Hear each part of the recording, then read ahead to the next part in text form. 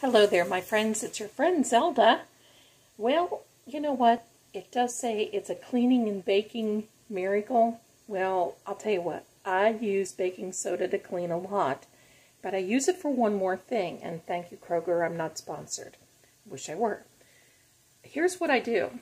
You see, I've got a little bit of boiling water here, and I sprinkle this baking soda in the boiling water. Now, be careful it is going to react and it is hot.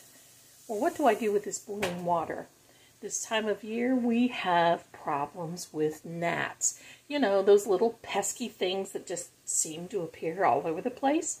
You take this very hot boiling water. Now, you be careful. Do not get burned. And you very easily pour it down your sink drains. You know, and you might even want to pour it down your bathtub drain too. That's what I do. And the baking soda keeps the drains fresh and it gets rid of the gnats. Try it. I think you'll be very happy that you did. And thank you, baking soda. Who else uses baking soda? Leave me a, a message in the comments. Bye.